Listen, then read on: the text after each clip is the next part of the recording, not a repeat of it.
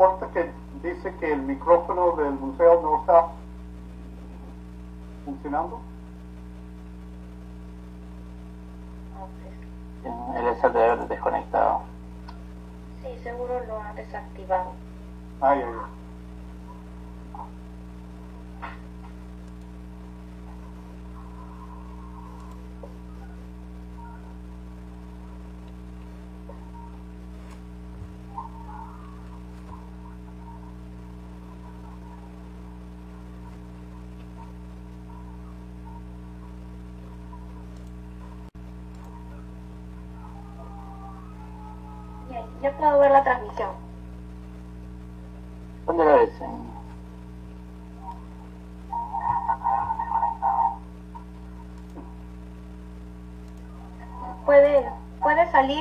entrar de- y entrar de nuevo al, al Facebook del museo y va a salir.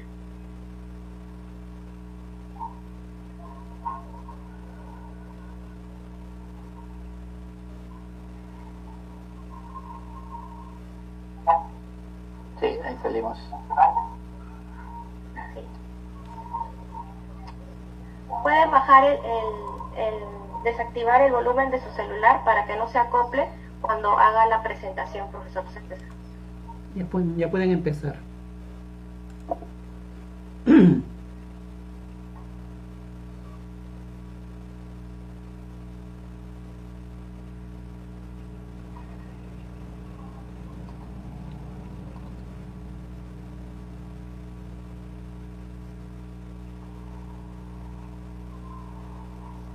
Muy buenas tardes con todos. Eh, de parte del Museo de Historia Natural, bienvenidos a esta sala virtual. Hoy día vamos a tener una conferencia muy, muy interesante, muy esperada. Eh, tengo el, el gusto de presentarles al doctor Kenneth Young, él es profesor principal de la Universidad de Texas en Austin y ha hecho sus investigaciones especializadas en conservación de la biodiversidad y en cambios socioecológicos relacionados a esta. Estudiado la dinámica de los ecosistemas, de diferentes tipos de ecosistemas en el Perú desde el año 1981 y en zonas de vida desde desiertos hasta bosques húmedos tropicales.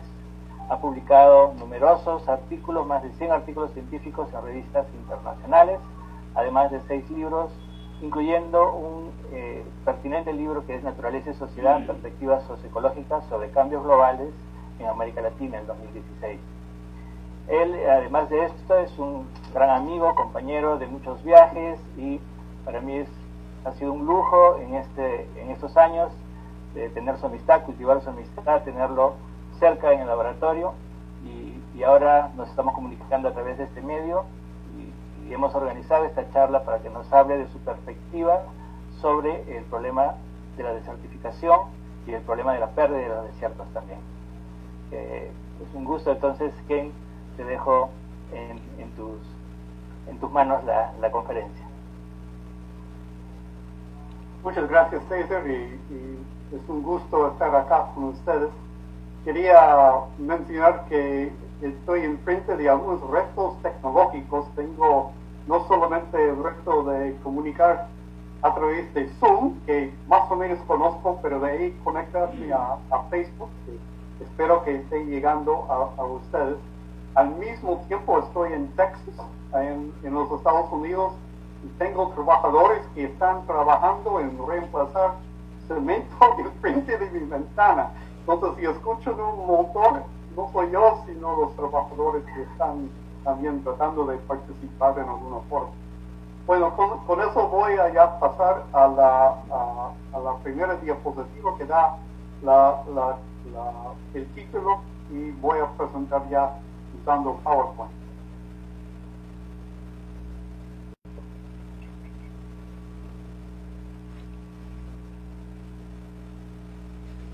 Muy bien, ah, gracias por estar con, conmigo y, y todos interesados en, en las zonas áridas que hay en el mundo. Um, estamos celebrando reconociendo, tal vez mejor dicho, el Día Mundial de la Lucha contra la Desertificación um, hoy día y es un día uh, reconocido en todas partes del mundo y nos da una posibilidad de conectarnos que sea en, la idea y la emoción con otros países que también tienen desiertos que se preocupen de los valores medioambientales y de biodiversidad asociados con zonas áridas. He puesto vínculos y oportunidades porque creo que hay conexiones que a veces no se hacen y hay oportunidades que tal vez podemos aprovechar, especialmente pensando en las oportunidades um,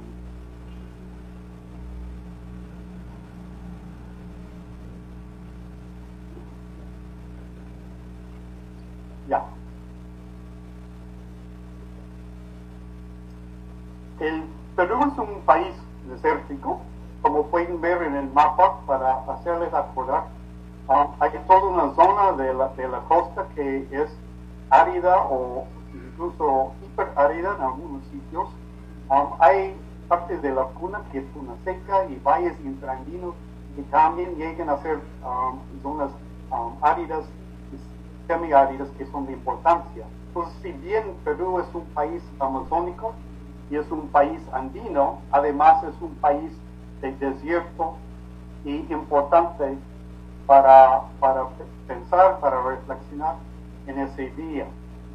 en la vista arriba es de Caral, haciéndonos acordar que los peruanos tienen ciclos y, milenios, incluso de estar en contacto con el desierto, en medio una vista de Lima, haciéndonos acordar que los 10 millones de habitantes de Lima viven en una zona árida, entonces pensar en los desiertos es crucial para la ciudad de Lima y otras ciudades grandes y están en zonas áridas. Um, y la vista al, al, al, final que nos hace acordar de la gente que tiene que vivir de los recursos naturales que hay en zonas áridas.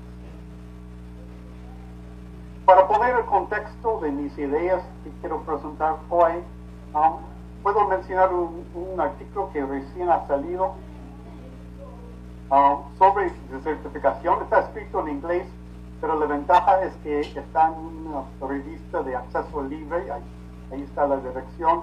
Um, la revista se llama Land, que en inglés que quiere decir tierra en, en español. Um, y ellos hablan de la y lo voy a usar en esa conferencia en el sentido que usan ellos. Um, es degradación de tierras en zonas áridas, cuando hablan de desertificación, y como dicen en ese artículo, es de mucha utilidad para reconocer los valores del medio ambiente, para tener alguna comunidad con otros en el mundo que también tienen zonas áridas. Entonces, de mucha utilidad para de medio ambiente. Pero el problema que tengo yo con el término de certificación es que en la forma que lo usan es pensando en degradar, o sea, una, un proceso negativo, y están pensando desde el punto de vista del ser humano. Cuando uno trata de ampliar un poco el, el término y usar datos empíricos para mostrar degradación en zonas áridas, a veces los datos empíricos no son, no, no apoyan las ideas y los modelos conceptuales en, en pensar en una forma restringida cuando se habla de la biodiversidad. Entonces, mi propósito hoy es hablar un poco más a lo grande, pensando especialmente en cómo ampliar las ideas en ese artículo al Perú y las posibilidades que hay para hacer investigación y conservación en el país.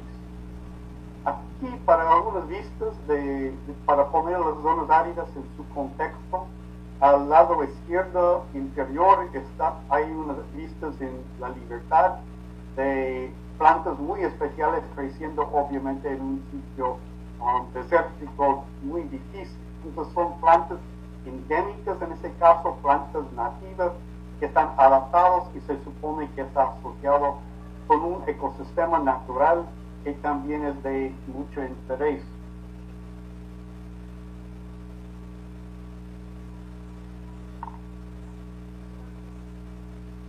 Y la vista inferior a la derecha es un sitio también cerca en la libertad que ha sido transformado con, con cultivos. En este caso, marigold, pero también se produce espárrago, palta y otros cultivos que son para la producción masiva que es para exportar.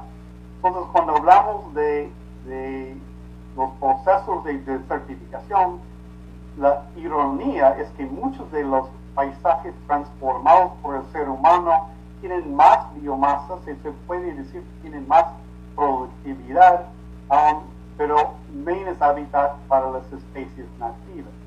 Además, quería mencionar que es un que hay que manejar un concepto de desiertos conectados con otras áreas. En este caso, el agua viene de los Andes y proviene en muchos casos de los vientos de, de la Amazonía, entonces conecta todo el mundo natural de los Andes, Amazonía, a recurso hídrico que provee a las ciudades en la costa y la posibilidad de producir um, cultivo. Aquí una vista de la futura doctora Aracati, estamos hablando creo que el año 2002 en esta vista, ella estaba estudiando especies uh, endémicas muy interesantes de cactus y pueden ver el ambiente difícil donde logran crecer esas plantas. Entonces deben tener adaptaciones muy interesantes. La vista más grande pueden ver toda una cantidad de especies distintas adaptadas a una zona muy interesante con especies de, de mucho valor para sus adaptaciones. La doctora Aracati en el año 2011 logró publicar con sus colegas este artículo sale en la, revista que se llama PNAS, que es Proceedings National Academy of Science, um, y que contempla 50 millones de años de historia pensando en plantas adaptadas a zonas áridas. Lo que ella y sus colegas logran mostrar es en qué momento de la historia, en algunos casos hace 40 millones de años, en otros hace 22 millones de años, y en otros parece 10 millones de años, que hay orígenes de grupos de plantas adaptados a los desiertos. Eso es la ventaja de estudiar pensando en la historia de, las, plantas, y los animales, pensando en las posibilidades de entender su evolución a través del tiempo. Y como pueden ver, a, veces es necesario relacionar la evolución de las especies con los cambios en la Tierra. En este caso, Mónica Arrecaki lo hizo en relación a las partes por miles de, dióxido de carbono en el, el atmósfero. Entonces, sus los resultados también tienen implicaciones para pensar en el mundo futuro con mayor cantidad de este gas importante. Los estudios que miren a la historia de la biodiversidad, biodiversidad son esenciales entonces para entender el árbol de la vida, para relacionarlo con los cambios en la tierra y para decir cuándo es el origen de los grupos ya adaptados a los desiertos y cómo lo explicamos en relación a la historia de la Tierra. Como pueden ver, en inglés dice you are here, usted está aquí. Ya estamos en el Holoceno, al final de toda esta historia, pensando en el futuro. Entonces, en parte tenemos que pensar en el presente, y el presente en parte es función de lo que ha pasado antes y Además, tenemos que pensar en términos de medio ambiente en el futuro.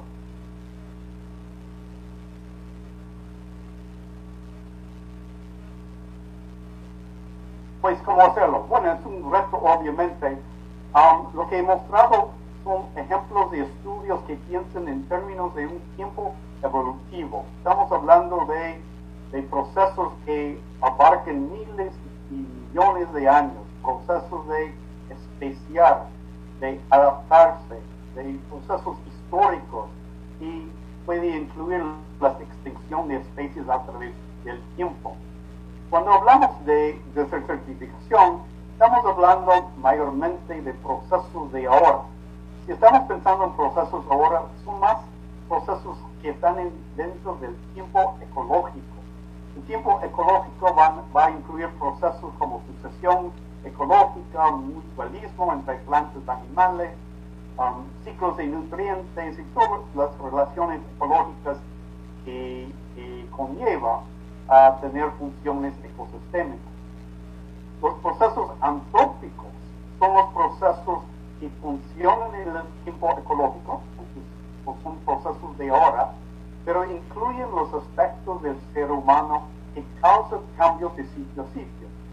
Uno de esos es lo que se llama en inglés biotic homogenization, y viene a traducirse algo como homogenización biótica, y lo que quiere decir es que cuando el ser humano cambia los ambientes, tiende a serlos iguales de sitio a sitio. Tenemos un, número restringido de especies cultivados de que son de valor para el mercado. Entonces, poco a poco todos los ambientes empiezan a aparecer igual y tener las mismas especies introducidas. Puede incluir ecosistemas novedosos, ecosistemas que nunca han tenido una historia evolutiva en el sitio y el ser humano cambia con la introducción de especies y de ecosistemas novedosos o nuevos. Al mismo tiempo, el ser humano entra en cambiar los procesos evolutivos en relación a extinción. Parece que el ser humano está abarcando en una serie de procesos ponen especies del mundo en peligro de extinción. Estamos conectando en esa forma a los procesos evolutivos que requieren miles o millones de años para recuperar. También es de preocupar entonces las especies que pueden perder su hábitat natural a través de los procesos antrópicos. Entonces podemos usar esos procesos en tiempos distintos para pensar en los cambios en los desiertos y para imaginar un mundo que vivimos un poquito más en armonía con las fuerzas de la naturaleza, que va a incluir otra vez los procesos de evolución y los procesos ecológicos. ¿Cómo hacemos? Bueno, una forma es pensar en la relación de la biodiversidad con los sitios que puede haber en otros lugares del mundo. Caso de los desiertos de Perú, parece que tiene muchos vínculos con los desiertos que hay en Chile, obviamente, Atacama, pero también que las zonas áridas y semiáridas de Bolivia, de Argentina, aunque se supone ofrecen también lugares para evolución durante muchos años y que comparten algunas de las especies y características ecológicas. También dentro del, del Perú, como he mencionado, conectan los desiertos con la costa, con los valles interandinos y la puna seca y otras zonas que pueden llegar a tener humedad restringida. Pensando en Lima Ica, aquí muestra que en muchos casos los hábitats naturales existen en forma de parches que van en, en lomas, por ejemplo, Um, desde el norte al sur como islas de hábitat aislado en, zonas áridas.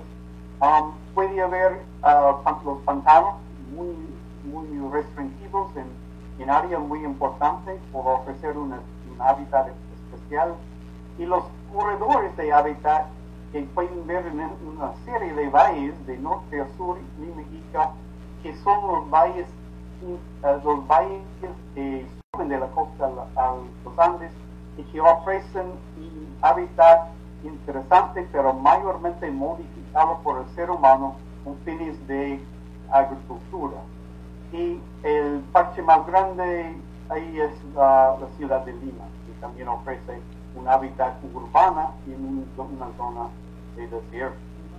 ¿Qué se puede hacer con ese tipo de hábitat? Bueno, se puede mirar a la costa y los valles interandinos como laboratorios para entender la evolución de las especies en relación a su ambiente, como he mostrado con el ejemplo de los, de, los y otros grupos de plantas adaptadas.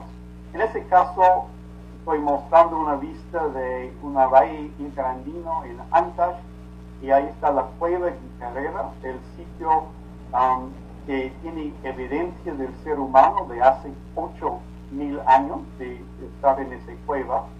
Y cerquita de la cueva encontramos esa especie de solano, una, un solano que pertenece al complejo de, de especies que son los tomates silvestres.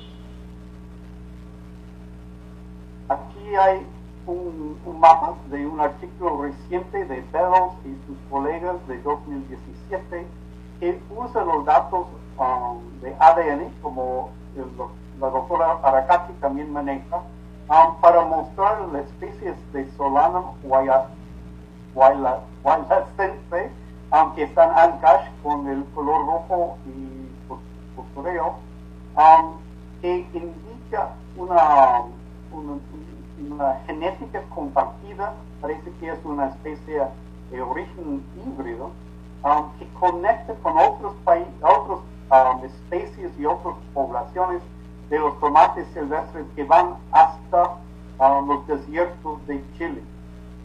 este complejo de tomates silvestres nos hace acordar entonces que algunas de las especies de las zonas áridas son especies conectadas a las especies de mucho valor económico, en este caso el tomate aprender en el campo de las adaptaciones de las especies nativas del Perú ofrece una posibilidad para entender mejor esos complejos que en este caso da origen a una especie um, útil. Al lado izquierdo está indicando en inglés las especies nativas que han dado origen al complejo de los tomates silvestres que fueron seleccionados por el ser humano, um, puede haber oportunidades para entender las especies nativas en el campo, um, puede haber oportunidades para trabajar juntos con los arqueólogos para entender el proceso de domesticación.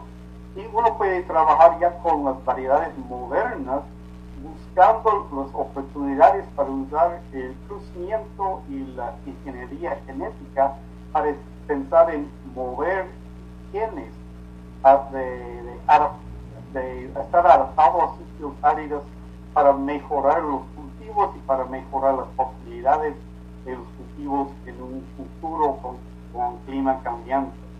Los que tienen interés en investigación pueden trabajar en todos los niveles, desde las variedades modernas, como conectarlo al mercado, hasta um, su origen con las especies nativas que pueden todavía existir y que necesitan también una ayuda en su, conservación.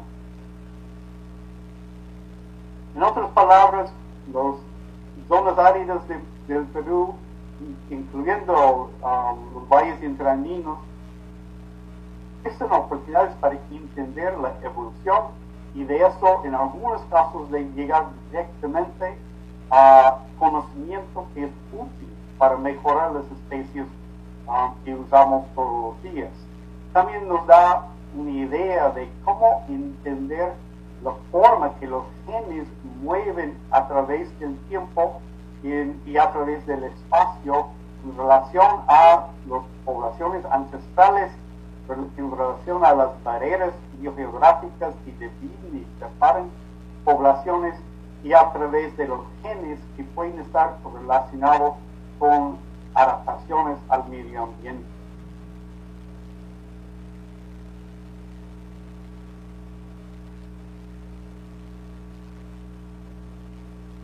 Bueno, espero que he convencido a ustedes de que la parte de evolución tiene muchas posibilidades hay miles de especies endémicas del Perú donde los peruanos tendrían la ventaja de estudiarlos en el campo. Las zonas áridas y semiáridas del país ofrecen muchas posibilidades para hacer este tipo de estudios.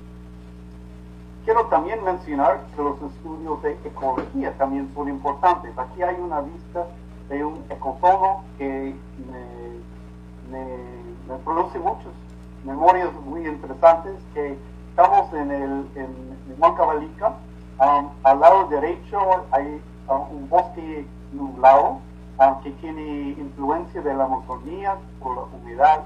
A la izquierda está el valle del, río Montaro, dominado por un matorral seco. Aquí tenemos un ecotono, un cambio de transición ecológica que va de un sitio semi-árido a la izquierda a un sitio bien húmedo, muy húmedo a la derecha, con una distancia de más o menos 200 metros. Los ecotonos de, de, los Andes, llegando a la costa, um, son muy abruptos. Entonces, muchos de las especies adaptados a climas especiales están en distribuciones restringidas a base de la mesa de cambios que puede haber. Entonces los ecosistemas, los ecotomos en otras palabras, funcionan como laboratorios para estudiar no solo evolución, sino adaptaciones ecológicas que puede haber y los cambios ecosistémicos en distancias pequeñas.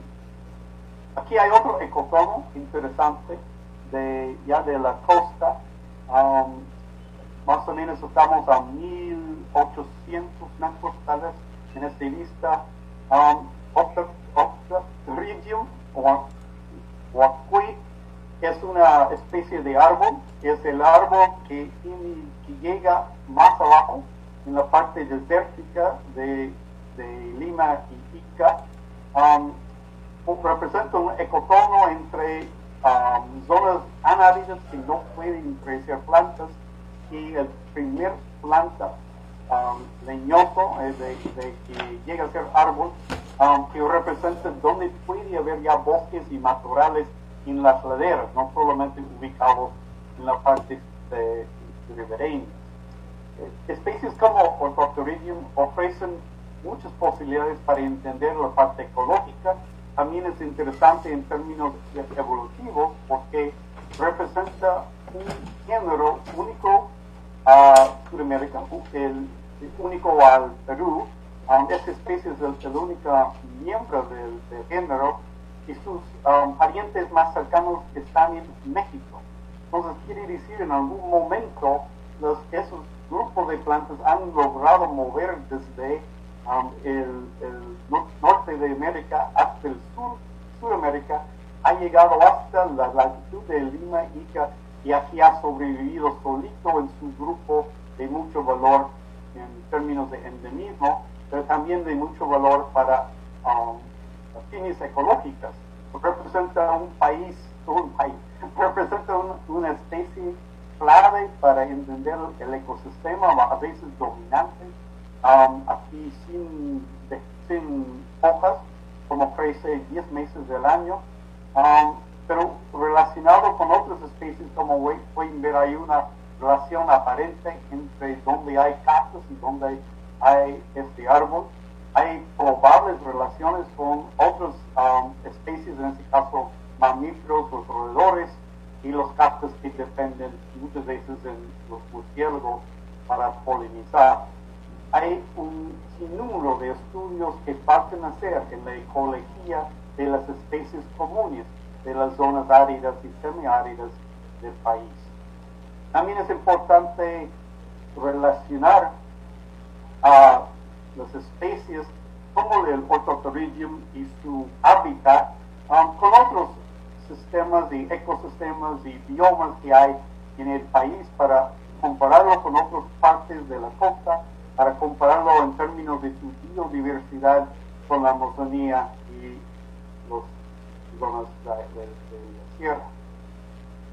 Aquí hay una vista de, de, haciéndonos reflexionar sobre cómo conservar la biodiversidad nativa del país. Espero que los eh, haya logrado convencer que sí es importante las especies únicas adaptadas a zonas áridas Um, el área nacional de áreas protegidas está mostrado en el mapa, en el lado izquierdo de estas vistas. Um, y a simple vista pueden ver que las zonas áridas de la costa están poco representados en el sistema nacional. Por eso es, un, es grato reconocer que ya las zonas privadas de, conservación están llenando un vacío que ha dejado el Estado en proteger. Aquí vistas de las lomas de Asia, que sí puedo recomendar como una zona manejada por la comunidad, pero con fines de conservación. Quería dar un poquito de, datos um, míos y colegas. Que hemos usado recientemente en un estudio de sensores satelitales de MODES, un satélite que pasa encima de Perú cada día, um, toma, uh, toma datos que se puede producir en forma del índice de vegetación de diferencia normalizado, un índice que nos da algo sobre la productividad y salud de vegetación. Mucho de la literatura sobre la desertificación usa sensores satelitales como MODES para decir que ha perdido productividad o que no está saludable la vegetación. Es una forma de mapear degradación. El problema que hay, y da origen a esa conferencia, es que la, la, muchas veces el ser humano, especialmente en el caso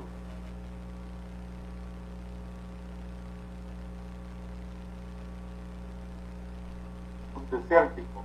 Entonces, simplemente decir que vamos a perder vegetación como efecto del ser humano no es cierto.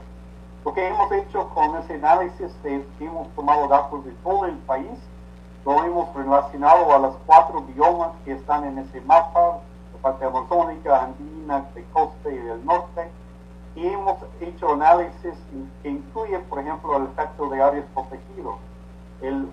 Los áreas protegidas no tienen mayor um, uh, aumento en ese índice ni tampoco pérdida del, de, del valor del índice o sea que los áreas protegidas sí funcionan como un laboratorio natural para áreas el, la influencia directa del ser humano.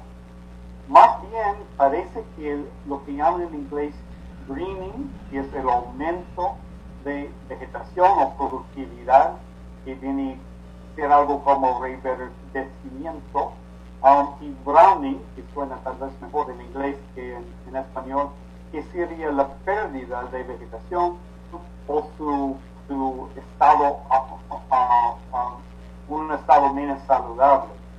Um, con mis colegas Molly Falk, Niti Mishra y Kumar Manali, um, hemos hecho un análisis reciente usando los datos de MODES. Son datos ya de 17 años que usamos, tomando datos de todos los días de MODES, haciendo todo lo, el, análisis que muestra en ese um, uh, gráfico para sacar um, sitios y tendencias um, positivas, o sea, aumenta la vegetación, y sitios y, tendencias negativas, o sea, de, donde se pierde la vegetación. Las formas simplistas de, sentir, de, de pensar en desertificación sería relacionado a lo que se espera con deforestación y uno pierde vegetación con el efecto del ser humano.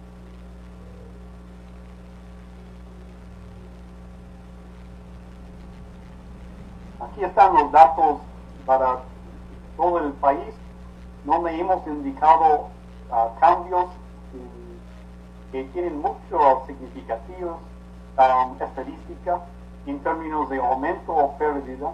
Um, la tendencia más grande para el país es un aumento de cobertura vegetal. Y, ojo, eso es fuera de los áreas protegidas. Entonces, uno de los, de los cambios del ser humano es aumentar este índice. Relacionándolo a las ecoregiones, para ser lo más relevante a la conferencia de hoy, aquí muestro de la Amazonía, donde hay más verde hay, en esos 17 años que pérdida Um, en los Andes, que también igual, incluso más marcado. El norte, que tiene los dos características, pérdida y, y ganancia de área verde. Y la costa, que mayormente muestra una, un aumento en la productividad y la biomasa que están en la costa. algunos ejemplos para hacerlo más concreto. Aquí estamos en un sitio en La Libertad, ubicado en Google Earth, ah, indicado por el, el, puntito que está ahí. Um, en tiempos de, de 2000 hasta 2017 se puede ver la diferencia. En este caso, aumenta el índice, lo que indica es que está transformando de desierto a un sitio cultivado. ¿Cómo sería en el campo? Aquí hay algunas vistas tomados en ICA por mi estudiante de doctorado Audrey Denver, que está estudiando el proceso de cambio relacionado con la falta. En esa parte de ICA han transformado el desierto a árboles de falta para dar productividad a la falta para el mercado, para la venta. Entonces han transformado el desierto a una serie de árboles donde antes no había árboles y han aumentado el índice. Entonces, en este caso, lo que sería degradar en términos de medio ambiente para hábitat, para especies nativas, es un aumento en el índice verde, digamos, de, de en inglés. ¿De, ¿A qué se debe? Bueno, como he mostrado en, en el caso de Cabimochic y Chenecas, son sitios en Ancash y La Libertad que tienen cultivos en lo que antes era un desierto. Entonces el desierto ha sido transformado usando el agua y viene de los Andes, en este caso mucho del agua del río Santa viene de los glaciares. El efecto del ser humano en el desierto es usar agua de los Andes para convertir hábitats naturales de desierto con sus especies nativas a sitios productivos para la agricultura. Una decisión social, obviamente, y representa ganancia económica, pero en cierta forma pérdida en términos de medio ambiente. Pero ojo que el índice que se usa en todo el mundo para indicar degradar desiertos también existe. Eso es un caso en la medida que, podemos mostrar que baja el índice a través del tiempo, desde el año 2000 hasta 2017, que, o sea, hay menos vegetación. En ese caso, lo que está pasando aparentemente es un, una pérdida de, zonas en cultivo, o sea, el, la señal de degradar está indicando menos agricultura, tal vez menos agua, sitios más abiertos con menos cobertura natural y tal vez incluyendo zonas um, de, construcción de casas, que también va a dar un señal de menos vegetación, o sea, indica un índice que se ha perdido vegetación.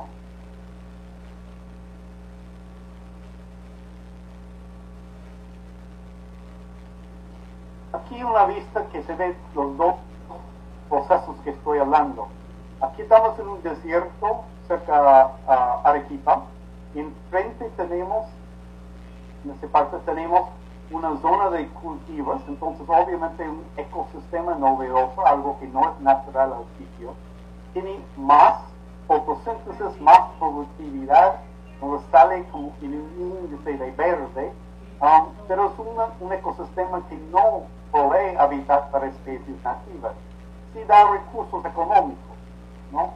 Pero el sacrificio es que estamos perdiendo hábitat natural para las especies nativas que podrían necesitarlo. Atrás hay una vista que se ve las casas. Las casas son casi el calor de la Tierra.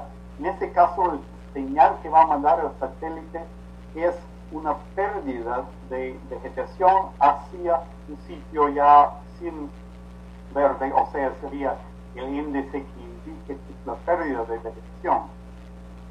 Esos dos señales entonces contradicen um, algo simplista para medir la degradación de los hábitats. Hay que pensar más bien en una escala más fina, con explicaciones que lleguen a, a conectar los hábitats naturales, los que quedan acá, los hábitats urbanos ya cambiados por el ser humano que va a dar un índice más bajo de productividad y salud de vegetación y los cultivos que sí van a dar un señal de mucha vegetación en un sitio que antes no tenía, pero que no representa algo y es útil para la conservación de especies nativas.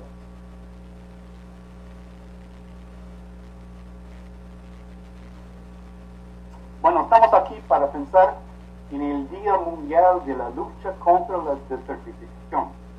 Espero que he logrado convencerles que los desiertos son laboratorios fascinantes para estudiar los procesos de evolución a través de millones de años y que muchas de las especies endémicas del país ofrecen oportunidades únicas a los estudiantes e investigadores interesados en los temas. Um, el Día Mundial entonces debe ser un Día Mundial en pensar y reflexionar en el valor de los desiertos, no solamente en los procesos antrópicos del ser humano que pueden hacer daño a los hábitats de las especies nativas. Termino también con una foto de Lima, porque son millones de personas pensando cómo vivir en una forma sostenible en el desierto, pero desde un hábitat urbano. Muy pocos estudios se han hecho con ecosistemas urbanos, hay muchas oportunidades para los que les interesa la biodiversidad conectar a este tipo de estudios. Entonces, yo planteo pensar un poquito diferente en el Día Mundial de la Lucha contra la desertificación, aunque que no me suena bien es que es negativo. Entonces yo ofrezco el Día Mundial a favor de los desiertos y lo pongo en el contexto urbano para hacerlos reflexionar de cómo vivir en un desierto en una forma adecuada para el ser humano, pero que también piensen las otras especies que tienen que sobrevivir en zonas áridas y semi-áridas en el país. ¿Cómo se hace? Bueno, da valor a los áreas protegidas, las áreas naturales que queden aquí vistas de, las lomas de Asia, los pantanos de Vía, que son pocos y pequeños, pero ofrecen muchas oportunidades de recreo, de educación, pensando en las especies nativas, buscando cómo llegar a una armonía entre las zonas urbanas y las zonas rurales que, que, que en alguna forma, en forma natural. También estamos en un contexto global, ¿no? Todos los días pensamos en las conexiones del Perú a otras partes de, la Tierra. Ah, una de las ventajas que tienen en el Perú es que es el origen y el sitio tal vez más afectado por el niño. Realmente el Perú podría ser laboratorio para entender el niño que logra afectar todo el planeta. Uno de los futuros puntos de quiebre que está mostrado en ese mapa indica partes del mundo que están destinados a cambiar en el futuro. Uno de los grandes es la Amazonía, como pueden ver en, el mapa. Entonces Perú puede participar en cambios en los bosques tropicales en frente de los cambios globales de clima que puede haber y, de, conexiones socioeconómicas. Pero también Perú podría pensar en sus zonas áridas y conectarlo a las zonas marinas pensando en el niño y ser realmente los expertos mundiales para cómo el niño puede cambiar en los um, próximos décadas, cómo se puede aprovechar del conocimiento de, los, de las zonas áridas del país para entender mejor adaptaciones a cambios como provee el niño.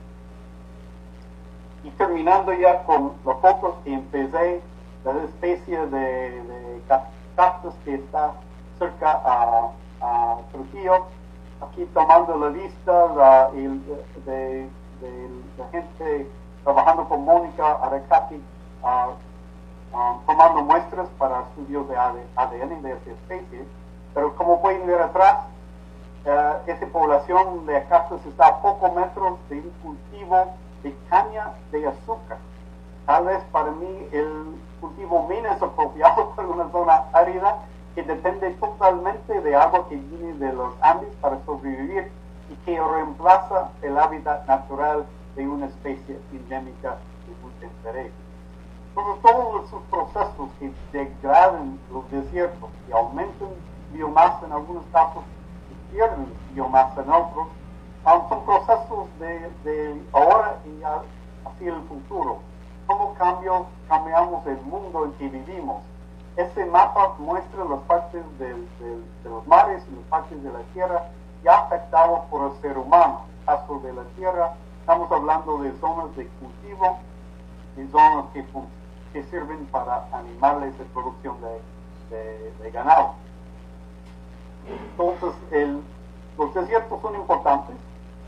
Si hay biodiversidad único, única que, que nos muestra y nos enseña sobre los procesos de evolución y los procesos ecológicos que manejan ecosistemas naturales. Pero también nos ofrece oportunidades para entender mejor el impacto del ser humano en cambiar, transformar los desiertos. Los dos casos, el desierto transformado y el desierto um, original, natural, nos da oportunidades para entender mejor el mundo en que vivimos, para evaluar el Día Nacional en favor de los desiertos um, y para pensar en los efectos, um, los efectos del ser humano y cómo podemos modificar el uso de, los recursos naturales para un, futuro sostenible. Muchas gracias, lo que tenía para compartir hoy.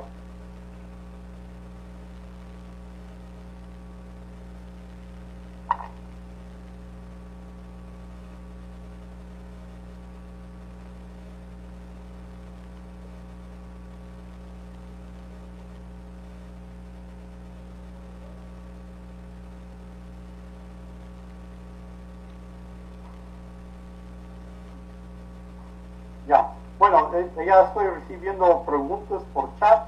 Voy a entender, voy a intentar, digamos, um, leer el chat y contestar al mismo tiempo. A ver, a ver. Ya. Um, las ganancias y pérdidas de área verde. Um, claro, no, no nos indica mucho, ¿eh? por eso quería mostrar como, como evidencia los estudios de desertificación, muchos se han basado en los sensores remotos. El sensor remoto, especialmente a nivel nacional, a la escala nacional, nos da una indicación de, si hay más biomasa o menos, o si las plantas son saludables o no saludables. Eso, es lo que indica el No quiere decir mucho sobre la calidad del hábitat para las especies nativas. Incluso como he mostrado, cuando hay un aumento en verde, el índice verde, realmente representa una pérdida, ya hay espacio para los cultivos, está mejor para falta, pero está peor para todas las especies nativas que puede haber. Al mismo tiempo, un índice de pérdida, o sea, de que tiene menos verde, no es necesariamente algo bueno, porque podría indicar erosión de suelos, que sobre el pastoreo podría indicar mal uso de los recursos naturales. Entonces, los índices son tan resultados diferentes y no nos llega a realmente entender la, calidad de hábitat. Entonces, yo creo que es siempre importante tener escala en mente, o no llegar simplemente a una conclusión general nacional, sino entender los procesos que pueden estar funcionando en, en paisajes distintos. Hay más de chat.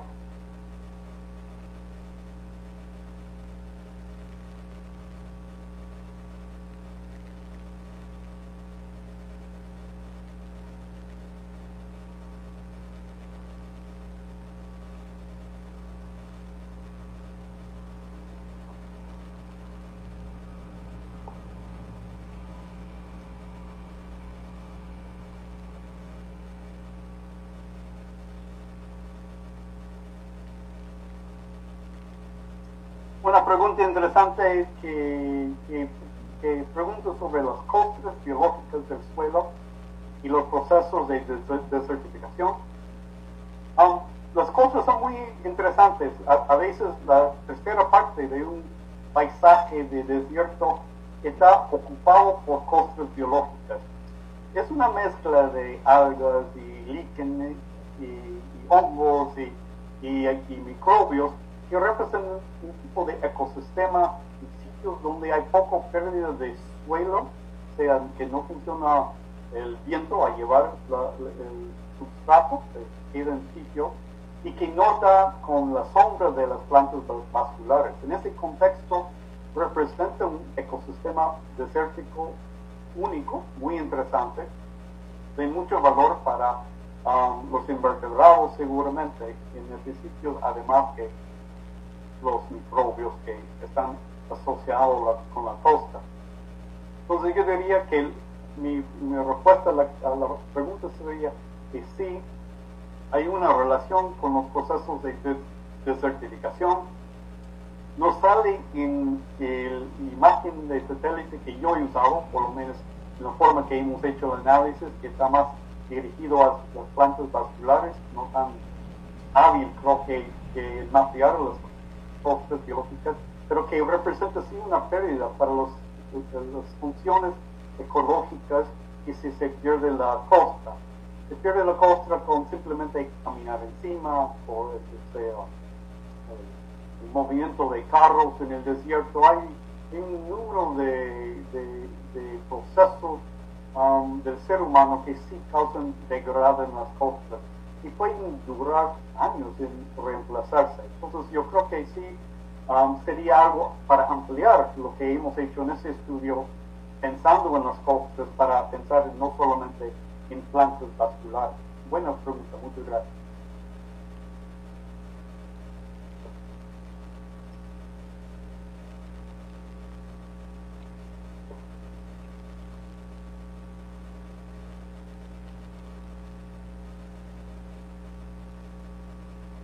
Eso es una propuesta interesante que dice que la agricultura formal podría mejorar mejor, usar mejor sus residuos, en este caso um, usándolo como para, para, mejorar la calidad de suelos.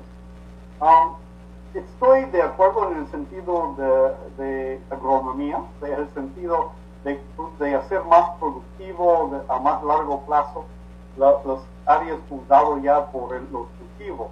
Lo que yo he observado, por ejemplo, en Chavimochic, es que no es solamente cuestión de, hacer crecer las plantas ahora, sino están cambiando la estructura y química de los suelos para producir falta en un sitio que es básicamente arena. Uno tiene que adicionar no solamente agua, sino lombrices y materia orgánica para mejorar la calidad del suelo. Entonces, esos cambios que hay para para los cultivos son importantes para los cultivos, pero representan un cambio permanente ya en la, estructura y química de los suelos. Entonces, si estamos pensando en un desierto usado, está muy bien, sería una de las prácticas que pensar, pero si estamos pensando en conservar áreas naturales, hacer cambios permanentes en los suelos, me parece que podría llegar a, riesgos más allá um, en el tiempo. Um, a ver, otro, hábitats naturales de los desiertos, ¿cuánto de la vegetación se ha perdido? bueno, esa es la pregunta. Um, no tengo una buena, buena respuesta porque sí es muy buena pregunta. Lo que he observado es que básicamente ya de Trujillo hasta la frontera norte es básicamente verde y con cultivos. Entonces, básicamente, una gran, gran parte del desierto del norte de Perú ya se ha transformado. Muchos de esos se ha transformado sin discutir mucho ¿sí? su valor para las especies nativas. Um, ya, bueno, claro, y, eso, y mi punto es que se ve en las imágenes satélites de vistas de, de arriba como algo verde. Uno pensaría que es más verde el desierto, pero en el contexto de, de, las especies nativas, de los ecosistemas naturales de los desiertos, se ha perdido. Entonces, eso es un aspecto interesante. El término de desertificación no es simplemente perder algo, sino ganar biomasa, ganar área verde, que no es un área verde que provee hábitat a muchas de las especies nativas y por lo menos da um, hábitat a las especies invasoras, a las especies de malezas, que pueden vivir en todas partes, que son iguales de sitio a sitio, y se pierden las especies nativas adaptadas que son especiales. A ver, otro, ¿cuáles serían las especies vegetales que son ah. Claro, una de las preguntas sí es fácil. Sí, el, um, si, si, el turismo puede ser positivo en el, en el sentido de ayudar con los... Um, tratando ya de ya, llega más rápido que puedo contestar la verdad. Um, el turismo sí, lo veo como algo positivo. Um, yo me acuerdo de visitas al, a Chile y hacen todo una gran campaña de llevar ecoturistas a, ver, a conocer los desiertos. Se hace un poco aquí en Perú, pero podrían promover mucho más. Los desiertos de Perú no son simplemente espacios vacíos para dominar son espacios naturales que representan valores que otros podrían apreciar, especialmente con enseñanza, que son especies um, únicas. Entonces creo que sí, turismo es positivo. Sobre uso hay que cuidar, pero mm, yo creo que básicamente son sistemas mayormente robustos en, el sentido de un uso adecuado. Um, ¿Cuáles serían las especies vegetales para recomendar? Bueno, yo, yo tengo esta idea que son las especies nativas, que son más interesantes y doy más valor a las especies endémicas, porque nadie más tiene las especies endémicas. Están creciendo um, en sitios um,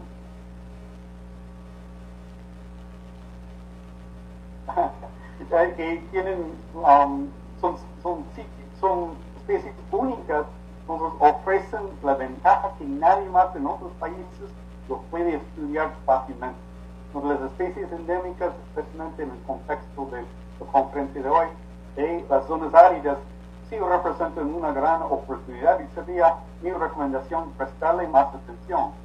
No necesariamente invierte mucho dinero, porque sobreviven en hábitats muy difíciles entonces van a seguir sobreviviendo como han hecho durante millones de años o miles de años por lo, menos. Entonces darles un espacio ah, adecuado es suficiente para esas especies.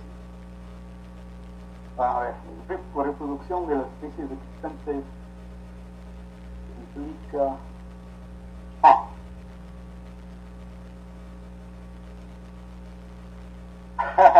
ya, si la reproducción de las especies existentes en los desiertos es relativamente lenta. yo diría más que lenta es pausado. si, son especies de alguna forma adaptados al niño, están adaptados a cada década, tienen una oportunidad de completar su ciclo. Entonces no es exactamente lenta, sino que va con los ciclos naturales de disponibilidad de humedad en, el desierto.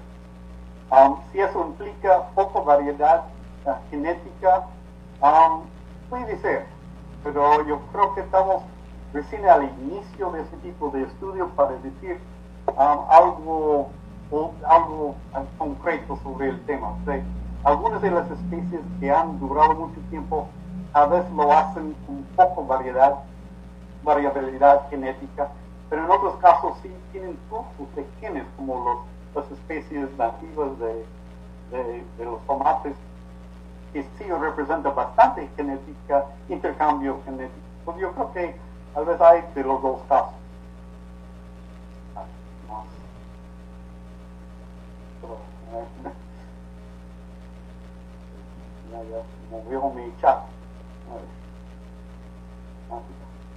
Conoce de algún estudio. Ya, ¿cuánto tiempo y cuánto costo revertir un área de certificado? Bueno, tendría que ser importante buscar los términos de referencia para qué es un área de certificado. Si, como he comentado, uno de, algunos de los procesos que crean los um, desiertos son procesos naturales. Entonces, revertir en ese sentido es devolverlos a su forma natural. Eso es probablemente lento. Es mucho más, um, en términos de costo-beneficio, mucho mejor proteger antes y no degradar y tratar de proteger o, revertir después. Um, el desierto es frágil en ese sentido. Una vez convertido, probablemente ya los suelos están diferentes y va a ser hábitat más para malezas que para las especies nativas.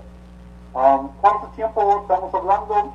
Um, bastante. Estamos hablando de décadas para y yo creo que otra vez sería más efectivo proteger, hacer una planificación adecuada, no solamente producir áreas ya para cultivos, sino al mismo tiempo proteger áreas naturales que van a siempre estar naturales, que forman un, testimonio de lo que había forma natural en ese sitio. Um, ¿Cuánto tiempo, cuánto costó? Bastante. Es más fácil prevenir que tratar de recuperar ecosistemas dañados. A ver, ok. A ver, otro. algo sobre modos. ya, otro, uno de.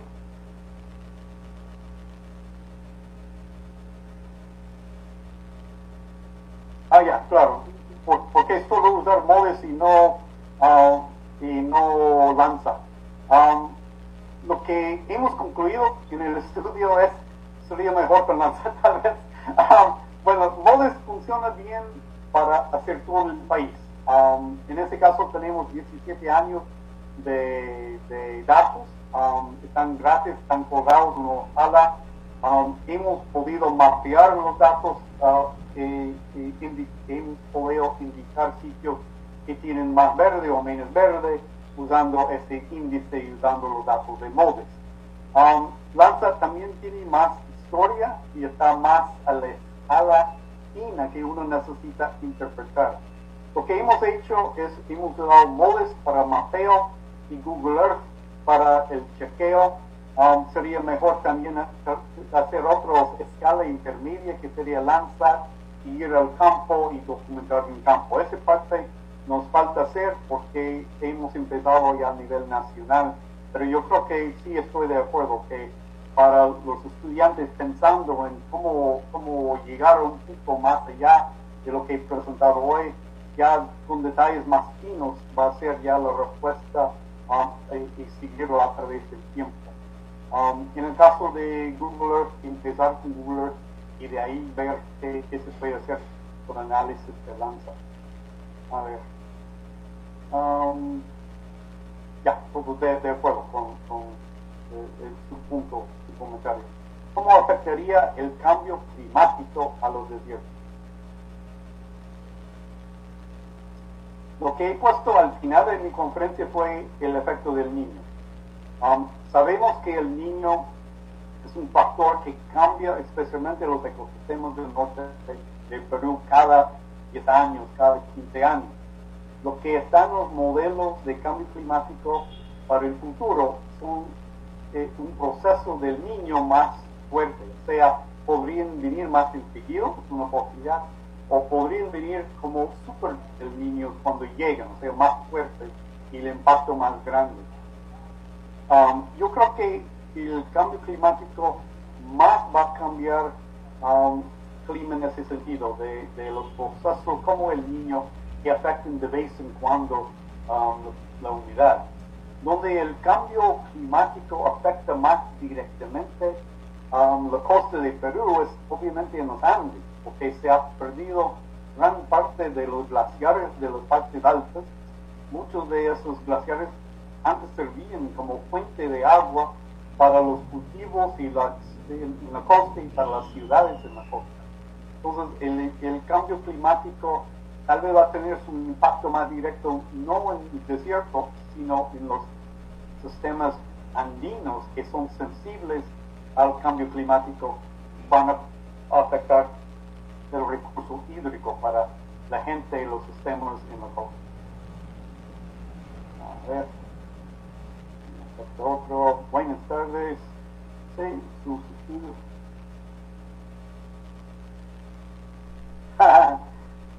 si puedo comentar o sugerir zonas que requieren tomarle más atención. Um, yo tengo mis favoritos, pero no les voy a decir dónde están. Así no, no se tiene con otras personas. Um, no, más bien, yo creo que lo, las zonas áreas del país son enormes y, varían bastante de sitio a sitio y hay muy pocos estudios de detalle de más de un sitio. Entonces yo creo que en vez de decir un sitio, yo diría que los estudios de todo, historia natural, de las especies um, de plantas, cómo dependen de los animales para polinizar, para dispersión de semillas, um, los suelos y los sistemas de nutrientes con las costras y las plantas vasculares, todo eso se puede hacer en detalle en un sitio cerca a Arequipa, en un sitio cerca a Trujillo, en un sitio um, en Lambayeque, mejor en todos los sitios de zonas áridas. Y, y, de ahí llegar a algo más grande, algo que se puede concluir. Lo que he presentado hoy es un vistazo a nivel nacional y algunas oportunidades. Realmente habría que abrir todo un espacio um, para hacer con más fineza y con más tiempo estudios en el campo. Entonces, en vez de sugerir un sitio claro, yo diría más bien llevar esas ideas de, llevar la historia natural, procesos de evolutivos, ecológicos y del, ser humano a todos sitios y de ahí comparar y llegar a algo más grande. Comparando. A ver, otro.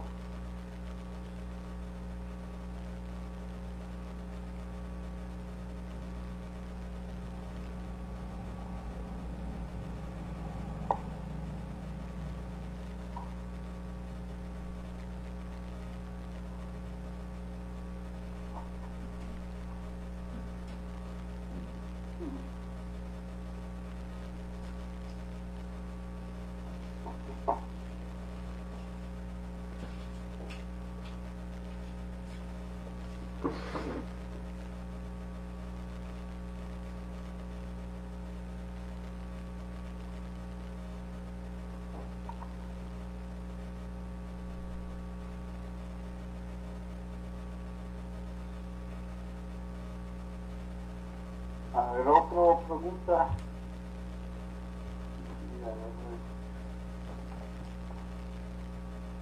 Algo de escala. Uh, ya, ok. Eh, pregunta si, si puedo comentar otra vez sobre la necesidad de escala. ¿Cómo pensar en términos de, escala? Um, pues eso tal vez es obvio a los, a los biólogos que sí ya están trabajando en el tema. Para los del medio ambiente, especialmente los que usan el término de certificación, creo que no han pensado mucho en las escalas de tiempo que hay que pensar. Entonces, las escalas de tiempo relevantes para un estudio de evolución son, como he mostrado, 50 millones de años. Entonces, no, no abarca algo que va a pensar uno que se preocupa del medio ambiente, porque es, es actual, es, es, ahorita, tenemos que pensarlo, pero estamos protegiendo una biodiversidad que viene de los millones de años de historia.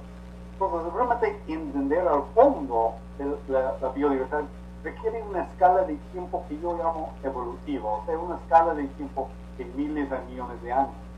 Pero lo difícil es llevar ese pensamiento de, de, millones de años a una escala relevante para el ser humano. El ser humano está pensando en el fin de semana, está pensando en cómo pagar sus, sus deudas, está pensando en de ahora.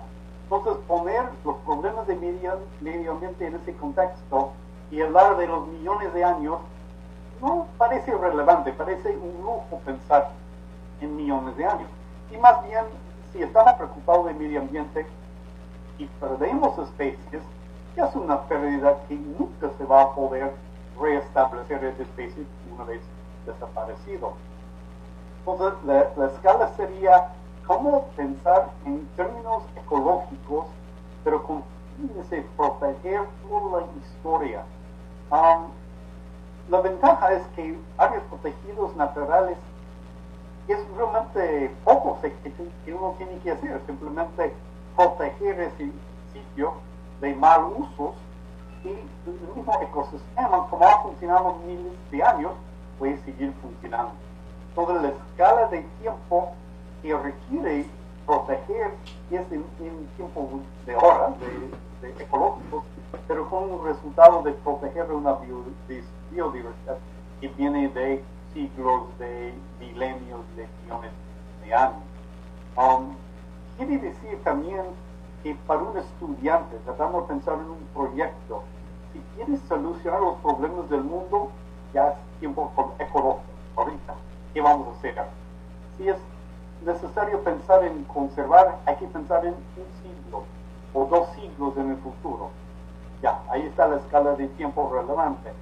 Pero si estamos pensando en explicar la biodiversidad, tenemos que pensar en toda la historia del árbol de la vida que llega a ser millones de años para entenderlo. Entonces yo creo que es interesante hacer todo, hacer los estudios históricos, evolutivos, hacer los estudios ecológicos y hacer los estudios de medio ambiente. Cada estudiante escoge la escala de tiempo relevante, cada estudiante hace la escala espacial que es relevante a su pregunta, pero relevante también a su bolsillo. Si no tiene muchos recursos, estudia un, fineza un área pequeño, pero usando preguntas generales que otros podrían comparar de otros sitios. A ver, eso es lo que tenía que decir a los escalas. Hay otro nuevo ver. No, yo creo que eso fue. Ah, ya, terminamos con las preguntas. Ha podido dar por finalizado y despedirse. Ya, muchas gracias por su atención. Ha sido un placer participar en el día en favor de los desiertos. Espero que he logrado convencerles que los desiertos de Perú son importantes como recursos de